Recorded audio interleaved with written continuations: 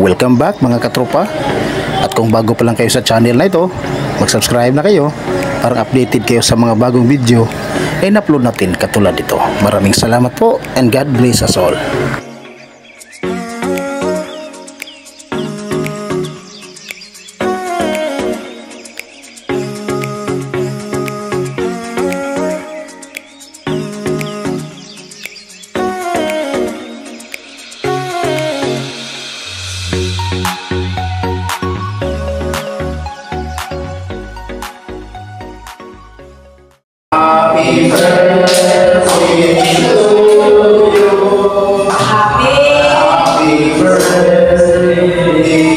to